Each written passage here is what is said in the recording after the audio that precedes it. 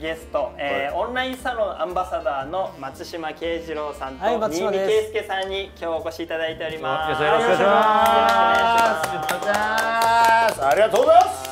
では早速お招きしたいと思います、はい。えータレント女優の小川誠さんです。まこっちゃん小川誠です。よろしくお願いします。最高よろしくお願いします。よろしくお願いします。すごい盛りだくさんに聞けましたね。リダックさんなんか引っか気になることありました？僕ね、はい大変僭越ながらあのピンクが分かんなかったです。あ、ピンクっていうちょいやあもうねあれロックの女性シンガーなんですよ。むあのアメリカ？ねそうなんなんとなく分かりました。もうなんか本当に単発とかもしちゃうぐらい、もう見た目かなりロックな、ちょっとハスキーボイスで。かっこいい女性がいるんですけどそれはね多分せかあ後でね。ね後で見てほしい。めちゃくちゃかっこいいんですよ。それはなんかもう昔から好きですねその方は。すごいかっこいいんですよその昔からいらっしゃるの？昔からいらっしゃると思います。それこそ自分がニュージーランドに留学してる時に私は多分その時ぐらいに好きになったんですかね。そうなんだ。ねはい。かっこいいなニュージーランドはどれぐらい行ってたんですか？あニュージーランドは1年と3ヶ月ぐらいですかね。あトータルで。トータルで言ったら。いいね。やっぱ羊いっぱいいるんですか？めっちゃいますよ。やっぱりいるんだ。めっちゃいますよ。もう普通の公園に行ったら普通の公園に牛も羊もいる、ええ普通の公園にいる。公園にいる。マジで？そのそばの公園に？いましたよ確か、それへー野生？ですよねきっと。野生？すごいね。野生だと思う。犬とか猫みたいな感じでいいんだ。なんかだからその都心のああいうところにはいないですけど普通のちょっと離れたところの公園って言われるところはその公園のレベルがあのー違うんですよ。もうでも自然公園レベルのはいはいはい公園のレベルが違うんですよ。すごいのね。そうなんです、ね。丘みたいになってるところにもう普通に羊いっぱいいるし野生が。いいます。へで牛もいるしなんかもうだから本当に自然が多くてね。今の方が楽しめたんだろうなと思います。やっぱ当時若かったのであ19にで行って19の時二に十歳の誕生日を向こうで私迎えたんですよ、えー。でそれぐらいだったんでやっぱりちょっとそのあの頃の私から言うとちょっと自然はいっぱいあるけどいわゆるそういうなんかそういうのがあんまなかったんですよ。5時とかにもういろんなとこ閉まっちゃうしみたいな感じで東京を知ってるから、っていうのだとやっぱもう若者にはちょっと物足りなさはありました。けど今だったら楽しめるんだろうなって思います、ね。当時はそのお酒も飲めなかったので、はいはいなんかホームステイのファミリーの人たちがワイナリーとかやっぱあるじゃないですか、ニュージーランドのワイナリー。赤ワインって言ってたもんねそう今は好きだから最高なんですけどその当時お酒が飲めないからあのワイナリー連れて行かれてもオレンジジュース飲んでるだけみたいな。だから今行ったらもう最高だしその大自然でお酒飲んでチーズ食べてとかね。って思うんですけどね今だったら。なるほどね。今の方が楽しめたかもしれない。僕はねあのロード・オブ・ザ・リングが大好きでそうだ撮影の場所ニュージーランドそうだよねそうです。よえ行かれました？ニューいジーランド。や行ってないんですよ。だからすっごいいいなと。思ってうちのすごい素妹敵ですよ。それでニュージーランド行ったもん。ああロぱード・ザ・リングのいいな。そこに行きたくて一人でニュージーランド行っちゃったもん。そうでもやっぱそういうことですよね。そういうので行く人いるんですそうもんね。そうそうそうだから私はその当時はああそうなんだぐらいでした。そうなるほどみたいな感じだったけどでも食べ物は美味しい。美味しいです野菜も全部やっぱ美味しいし。あ野菜美味しそうだね。美味しい肉はやっですぱラム肉美味しかったです。ラム肉も美味しいし大好きだもん。あのーなんかその海がすぐあるからー海がふわーっと。サーモンがめちゃくちゃ美味しかった。ですあーサーモンなんだニュージーランドって私そういやどうなんだろう他の魚も多分あると思うんですけど、サーモンが私は好きだったので、いいね。美味しいって思って。美味しいですよね鮭。鮭ね。鮭鮭うまい。そうそんなそんな感じ。そんな感じ。いいね行ってみたい。あと好きな食べ物ベーグル、ね、あそうなんです。おいおいおいおい。私でもそれもともとずっとそうで私新潟出身で米どころなんですけどもうちっちゃい時からもうパンが大好きでもうずっとパン食べててでモーニング娘。に入ってからベーグルっていうそのおしゃれなパンを知ったんですけどそれで衝撃を受けてそこからベーグルが好きになってで結構もう日本全国からいろんなところからベーグル取り寄せてで今でも結構毎日のようにベーグル食べてます。えどこのベーグルがお気に入り？えー、それ絞れないないっぱいあるんだ。いっぱいある。いっ今ぱいある。今食べてるのはどこのベーグルあ今日食べたのはあれ今日食べたのはあそれこそ熊本で取り寄せたやつです。へ熊本で取り寄せができる。熊本から取り寄せた島ベーグルさんっていうところ島のベーグルさん。ベーグルを今日食べました、今日のお昼。食べたいな美味しそうそう。ベーグルねだってベーグルなんてさそうさモーニング娘。さん入られた時にベーグルを知ったって言ったけどベーグルなんて昔なかったからね。ななかったないと思う。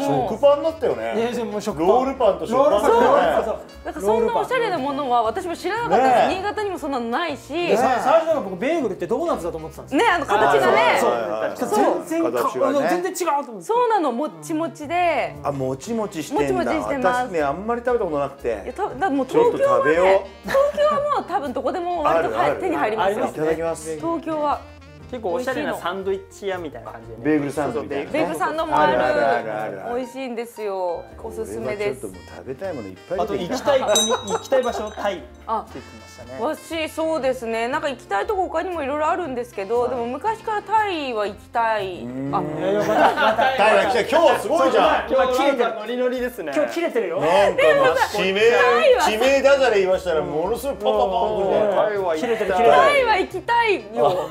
やっぱりなんかタイ料理好きなんです。あタイ料理が好きだからなんか本場で食べてみたい。タイ料理ね。切れてる今日切れてるよ切れてるよ切れてるね。切れてるいやいねや俺もダジャレここで僕ポンポン出てくはあるといいタイ人ですかってよく言われるから。行ったことあります？ないないあないんだ。けどタイの社員いますよ。あそうだ。タイ出身あいるんだ。今日はいないけど。わ今日はいないんだ。ねあそうなんですでもね倉原さん向こう行ったら現地の人と間違われるんじゃないですか？そうタイ語で話しかけられる。タイ語で話しかけられる。これ面白い話がね、あの顔まあ九州って顔濃ゆいんですよ。だから僕は割と九州の顔なんですけど、そのなんだまあ映画の研修であの沖縄に行ったことがあって、はいはいはい。で沖縄のお土産屋さん行くじゃないですか。で沖縄ってめっちゃ顔濃ゆいじゃないですか。あ現そう。現地の人もね。現地の人に。でしょ？そう沖縄のそうギフトショップに入ったら、そこの店員さんから「May I help you?」って聞かれて。外外国の方と思われた。そうそうそうそう。あ沖縄の人にすらあの外国の方だと。そうそうだからもう相当顔がだからもう外国人顔なんだなと思って、そうだね。なんかそうタイとかインドネシアとか。ちょっとそうなんかそういう感じの血がそう。ね。そんな感じする？入ってる入ってるのかなって思った。でそっちの言葉を覚えて、うん。日本語わかりそう日本語わかりません的うんな感じでなんか潜入するのとか。そうなんか面白そう。いいんじゃないですか。コップンカーコップンカー。うんってコップンカー言って。ねそうそうそう。好きな食べ物はたい焼きじゃなくてどら焼きでしたあどら焼きあそうそうそうだタイで。あんこが。あまあそうたい焼きも好き。でもあんこが好き。あんこあ私も美味しいよねつぶ僕つぶあん派。あ私もつぶあん大好き大好き。すごいつまんが揃うって珍しい。そうなんだえそうなの？えこしあんの方が多くないですか？え嘘つでもぶあんでしょ？でもツーはつぶあんですよやっぱ。あどう？でさあの昔はさあんまんもさあ腰しかなかった？今腰しか売ってなく今ないがコンビニ。腰しかない。あ今は腰しか昔ないんだ。はもうつぶあんのあんまんがいっぱい売ってたんですよ。あ今そうですか。ない今ない。んだ いいもんね井村屋のつぶ私あれが大好好きなんですけど。美味しいですよね。大体コンビニであんまん買おうかな思ってもみんな腰なんだあこしあんですでもなんかねそうそうああんこだって思って見た時にこの中身は腰ですってなると買わないです。そう一緒一緒一緒一緒。そうなっちゃうワンドーナツとかも腰だと買わない。そう腰だと買わない私そうもですよね。あんこが大好きだけどでも腰ではないんですって思そうでっちゃう。すね。すごいいや一あんドーナツでこしあんのあんドーナツとか食べたことないあるよねでも。えあるあるよ。あるある。コンビニとかにも結構。腰あんってわざわざ書いてあるもんね。書いてある。俺運が良かったのかもしれない。あたまたま？書いてある書いてある。つぶあんばっかりだそう。あの好きな動物で犬ってありましたけど。犬大そう好き。実家にも犬飼ってます。ああ飼ってるんですか？飼ってます。あのどんなヨークシャテリアあがー。あのちっちゃくて。ちっちゃいの。毛がファーってなってパーってなってるやつが好きで実家にはいるんですけどね。えうちのですねアトリエにもあのいるんでしょ犬がね新しくねいるんだよね。そうですよ新メンバーがあ来た来た来た。おいで。すごいキッズが。クリスティ。はい。すい。ごやー大きい。滑ってるでかいいな滑るよね。クリスティ？クリスティっていうのね。お子様なんですよ。クリステおーでかいこの方まだおこれそ子様うクリスティこれ何歳だと思います？お子様なのこれ何歳だと思いますかでかいな。これだって先週より大きくなってる。そう。大きくなったなクリスティ5ヶ月ですよ。すごいそう5ヶ月だよ。大きい。これ何キロある？えもうね15キロぐらいあるんだよな。わお。重いだって足も立派だもん。足ももうもうすごい。ねクリスチャン。あこれ何県って言うんですか？グレートピレニーズと言初めて聞いた。大人になったらですね60キロぐらいの。どんな？こんな？人間より大きいですよ。60キロ？えお大型犬が好きなんですか？大型犬をそうあのす一緒に暮らしたいなと思って、ねそう一応ねまだ子犬なんだけどそう子犬ではないよ子ね犬の領域をもう超えててそうもうね柴犬より大きいですから。15キロって。重いよ。重いよね。ここにいたらどう？可愛い顔してるねいたらいいじゃない。ね。こんな感じねね。クリスティ。ねクリスティ。あらやっぱそうそうあなたの夢はで、うん。自分が亡くなった時に良かったと思う人生を。でもやっぱりそうですよね。なんかそのなんだろう。この今まあこういう状況になって世の中がやっぱ当たり前が当たり前じゃないじゃないですか。やっぱりだからそういう中で元気に生きていれることってやっぱり幸せなことだと思うんですよそれすらがもう幸せなことだからうなんかやっぱ一日一日をこう大切に過ごしていったらまあなんか人生なんて結構やっぱ波があるものじゃないですか。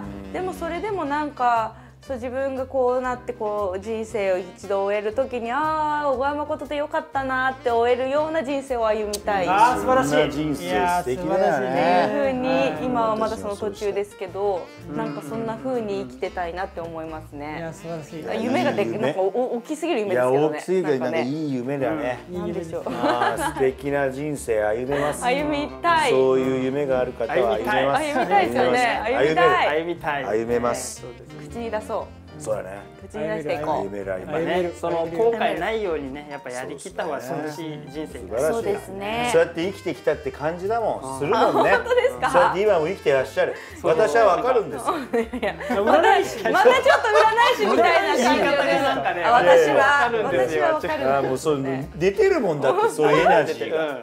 すごい楽しく生きてますっていうのがすごいね。なんかもう本当ですかエナジーが出てる。出てる？非常に素晴らしい明るいイメージが出てるからそういうそうやって生きていきます。生きていける。私はもう今生きてらっししゃるけどそういきますありがとうございます。はい、ありがとうございます。一回ここで、はい。はい動画を区切りたいと思います。はい、ではチャンネルこのままでいきます。またお会いしましょう。えーまだ続くってことね。まだ続きます。続きます。よ。まだ続きます